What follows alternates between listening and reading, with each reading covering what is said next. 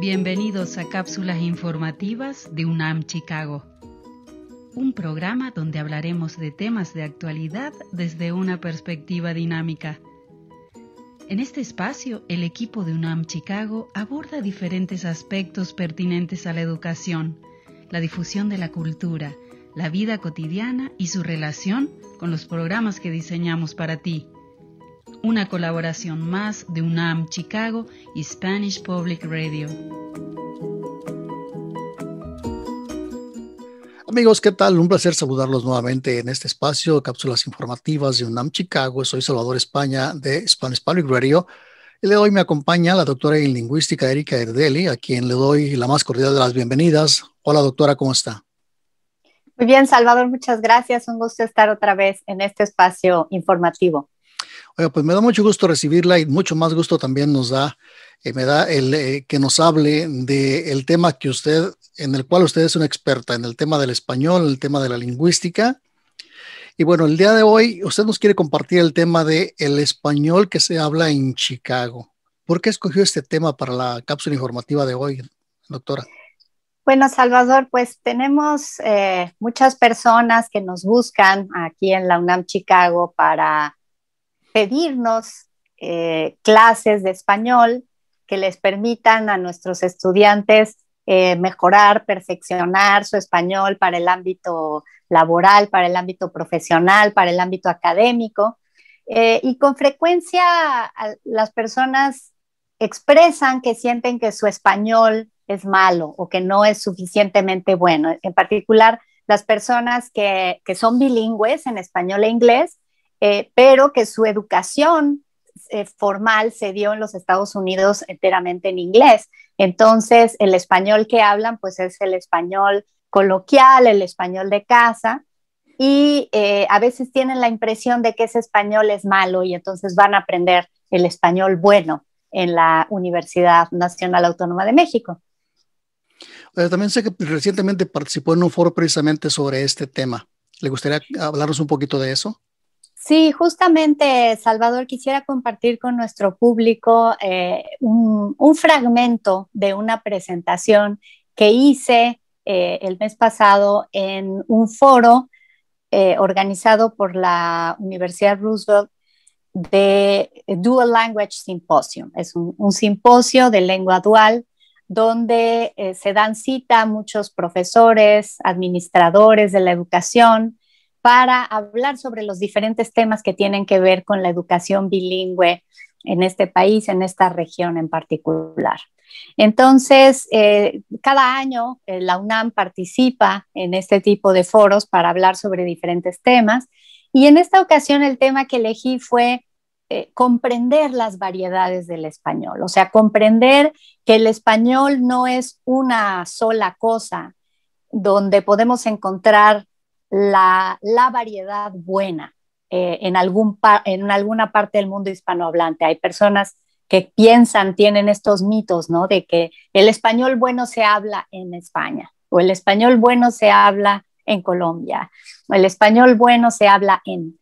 Eh, porque todos los españoles son buenos, esto es lo que sabemos y comprendemos los lingüistas, pero ¿cómo comprender esa variedad y cómo comprender que unas sean distintas de otras y cómo entender esta diversidad es eh, uno de los temas que, compartí en este simposio. Y eh, por supuesto empecé hablando sobre el tema de, de, qué es una lengua y qué es un dialecto, que es un tema que ya hemos tocado en estas, en estas cápsulas informativas, del que ha hablado también eh, mi compañera Claudia Muñoz, jefe del Departamento de Español. ya hemos hablado, tocado este tema. Entonces, simplemente quería compartir con ustedes el fragmento en donde hablo sobre cómo he visto yo que se habla diferente el español en Chicago desde mi visión como una persona que viene, que creció en la Ciudad de México. Y entonces allí comparto pues algunas características de mm, algunas características de que identificado aquí en el español de Chicago y con el que quizá, algunas personas de nuestro público se identifiquen o tú mismo. Muy bien, lo escuchamos y lo vemos. más que decir eh, que, un, que, una variedad es, es mejor que otra, tenemos que entender cómo son las variedades, entenderlas, verlas, estudiarlas, describirlas.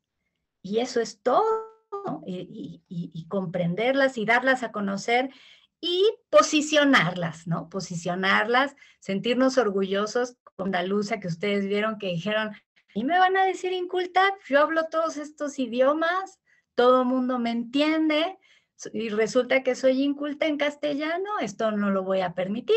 Pues igualmente con el español de Chicago, ¿no?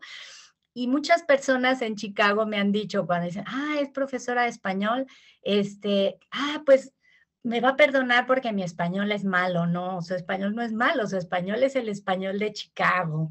Y yo les quería compartir esta, esta experiencia que tuve eh, con, el tema de los nombres de las calles, ¿no?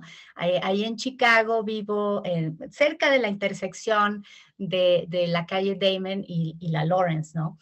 Entonces yo sin darme cuenta empecé a, empecé a decir cuando me preguntaban dónde, dónde vives o algún taxista, dónde va, yo decía, pues estoy ahí cerca de la Damon y la Lawrence, ¿no?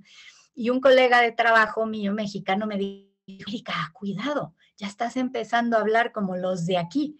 Y yo dije, ah, pues, ¿por qué? ¿Qué dije? ¿No? Me dijo, pues es que en México no le ponemos artículos a las calles, no decimos, vivo entre la Moctezuma y la Hidalgo, ¿no? Este, o entre la Insurgentes y la Revolución, ¿no? Decimos vivo entre Insurgentes y Revolución, pero no, eh, no decimos la, la Damon y la Lawrence. Yo no me había dado cuenta de esto, pero me dio mucho gusto darme cuenta de que naturalmente me, adapté lingüísticamente a la realidad de Chicago y si la gente allí habla así, pues yo qué es lo que quiero, pues adaptarme, sentirme, comunicarme con ellos, sentirme a gusto, este, hablando con ellos y inconscientemente empiezo a hablar como se habla en Chicago y me da, me da gusto que así sea, ¿no? Ahora, habrá gente que, no, no, no, pero es que es incorrecto. A ver, no es incorrecto. El español, vamos, incorrecto, no está en contra de ninguna regla de uso del español. El español, el sistema del español permite este tipo de usos, como permite el uso de artículos con los nombres propios, ¿no? Eh, en el centro de México no le ponemos artículos a los nombres, pero en el norte sí hay gente que dice la Erika, la Claudia, la Adriana. Este, nosotros decimos nada más Erika, Claudia, Adriana, pero es posible, o sea, hay variedades donde es así. Ah, se puede decir Perú, pero también se puede escuchar el Perú, la Argentina, ¿no? Eh, igualmente, pues la calle Damon y la Damon, no estoy infringiendo ninguna regla. Lo que sí no permite por ejemplo, esto sí es una regla de la lengua, del sistema de la lengua, la posposición de artículos. Los artículos no pueden venir después de los sustantivos. Yo no puedo decir Perú él, o Erika la, o Damon la. Eso sí, o sea, la gente va, a entender por, qué estoy hablando así, ¿no? Eso sí, es ir en contra de las reglas de uso del español, pero lo que, lo que estoy haciendo allí, pues de ninguna manera rompe ninguna regla, ¿no? Entonces, bueno, algunas cosas que yo he notado del español de Chicago, ustedes me dirán cuáles, cuáles son las características del español de Chicago, pero he, notado que se utiliza bastante aiga en lugar de haya. Eh, me parece siempre que escucho la pronunciación de la doble L como la palabra silla, pues en el centro de México la pronunciación es muy fuerte, silla, pero en Chicago incluso eh, ya hijos de colegas míos del, que, que, nacieron en México, sus hijos ya nacidos allá, escucho que dicen silla, silla, muy, muy suave para mis oídos. A veces hasta les pido que repitan porque no lo entiendo, pero ya he visto que es una característica del español de allá. He visto que se usa menos el subjuntivo que, en México, en el centro de México, y dicen cosas como llámame cuando tienes tiempo, en lugar de llámame cuando tengas tiempo, que sería lo que, lo que yo esperaría. Eh, y el uso de algunas palabras, por ejemplo, la palabra moreno en México se utiliza para la piel eh, café, vamos a decir, y hay como muchas ganas de, muchas gamas de moreno. Sin embargo, eh, en Chicago aprendí que allá se utiliza para referirse a los negros. En México la palabra negro no está estigmatizada, en Estados Unidos sí. Entonces he visto que la palabra moreno designa a los eh, afrodescendientes, ¿verdad? Y güero, que aquí en, México se utiliza para designar a los que tienen el pelo rubio, em, y también es una forma de cariño, o sea, bueno, de cariño, de eh, cuando uno va al mercado, independiente de sus rasgos físicos, dicen güerita, ¿qué le voy a dar? ¿No? Güerito. Sin embargo, he notado que en Chicago güero designa a los eh, estadounidenses blancos. Entonces, eh, puede haber mexicano-americanos, afrodescendientes, que son pues, todos estadounidenses, pero cuando usan güero he notado que lo utilizan para, para designar a este grupo en particular. Y bueno, el uso de palabras como biles, taxes, aseguranza, frisar, que yo pues en, en, México no las usaría y que a veces hay gente que va para allá y dice, ay, hablan mal porque lo mezclan con el inglés. A ver, no es, eh, no es nada extraño, es lo más natural del mundo, que si todo mundo en la comunidad dice biles y pagar los biles, etcétera, pues esa sea la palabra más, más común. He conocido eh, Heritage Speakers del español allá en Chicago cuando he dicho esto, me dicen, ¿y cómo se dice en México? ¿Cómo le dicen en México? ¿no? Entonces, eso es lo que debemos decir. No, no es cuál es la buena o cuál es la correcta. Pues en México, ¿cómo les dicen? Porque aquí les decimos viles y eso es lo que son. Doctora, pues muy interesante esta charla que usted habla, que, que usted ha dado sobre las diferentes variedades del español y sobre todo lo, de cómo se habla español aquí en Chicago. Por ejemplo, eh, los nombres de las calles, cómo las decimos ya con, con mucha naturalidad nosotros que vivimos aquí por, muchos, por mucho tiempo ya y que sin embargo posiblemente se les haga extraño a personas como, como usted que pues vienen recientemente de México, ¿no? Sí, efectivamente, y todos los días, eh, Salvador, yo escucho cosas que, me llaman la atención en la vida cotidiana acá en Chicago, pero conforme va pasando el tiempo me voy acostumbrando y ya no me, ya no me parecen diferentes. Eh, por ejemplo, el día de ayer estaba yo eh, comprando algo y me, me ofrecían un paquete de comida que podía ser de un sabor o del otro sabor. Y entonces yo no me podía decidir entre un sabor y el otro. Y la persona que estaba vendiendo me dijo, bueno, si quieres se lo doy misteado. Entonces, misteado es una palabra que yo ya he escuchado con mucha frecuencia aquí en Estados Unidos. Misteado, mezclado. En, México diríamos mezclado. Eh, pero bueno, eh, es una forma de incorporar el inglés con el español, ¿no? Mixed, mixteado, misteado. Entonces, eh, es, es, el tipo de cosas que le van dando su, su identidad al español de un lugar. O sea, aquí así se dice. Es que nosotros hemos adaptando algunas palabras del español con las de inglés, ¿no? Y de esa forma hemos ido creando como un... Una, nueva variedad. es una nueva variedad del español entonces. Y esto es lo más natural del mundo, Salvador, en la historia de la humanidad. Imagínate, siempre han habido lenguas en contacto.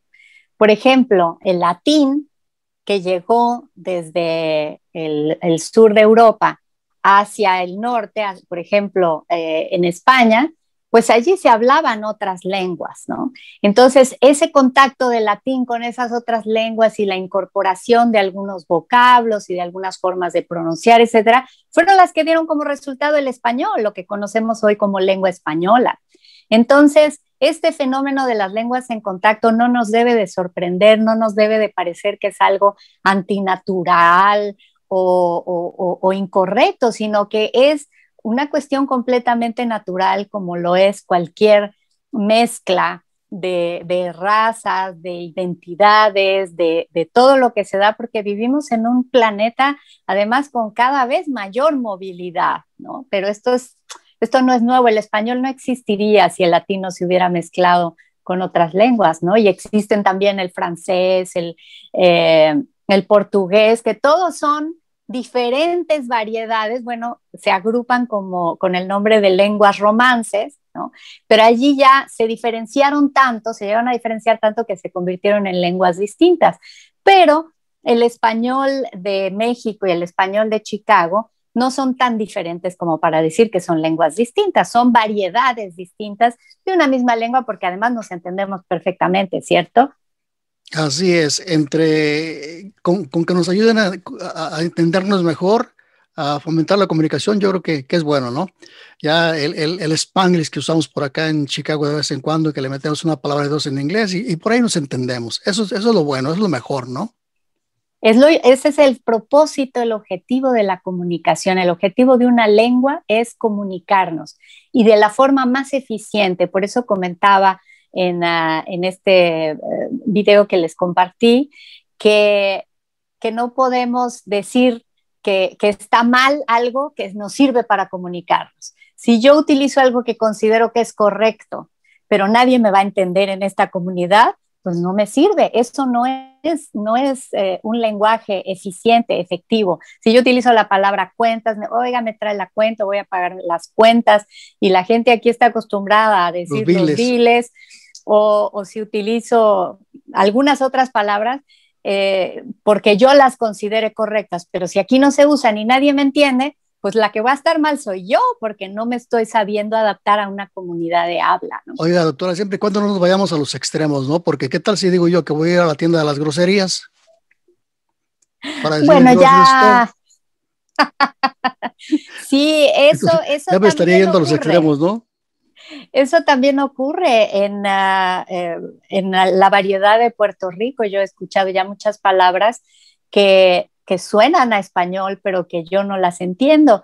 Si esto llegara a un extremo, pues va a pasar lo que ocurrió, por ejemplo, entre el francés y el español. O sea, se van a empezar a diferenciar tanto que se convierten en lenguas distintas. Pero por el momento, todos son variedades de una misma lengua, que es este maravilloso idioma que hablamos tantos millones de hispanohablantes, que es el español. Bueno, pues sí, muy interesante, doctora. Con eso le ponemos punto final a la cápsula informativa del día de hoy. Y amigos, los invitamos para que nos acompañen en las siguientes con otro tema sumamente interesante. Y por supuesto, estaremos aquí para, para compartírselos. Doctora, muchísimas gracias por el día de hoy en esta cápsula informativa. Gracias a todos los que nos escuchan. Gracias y hasta la próxima.